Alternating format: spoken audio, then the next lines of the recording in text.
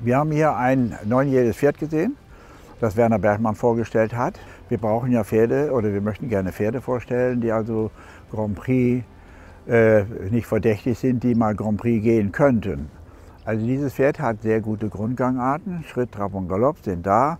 Dieses Pferd macht gut mit, hat ein gutes Temperament und Interieur, das ist sehr, sehr wichtig, weil Pferde, wenn sie also müde sind und immer müde, für einen Reiter immer sehr mühsam werden.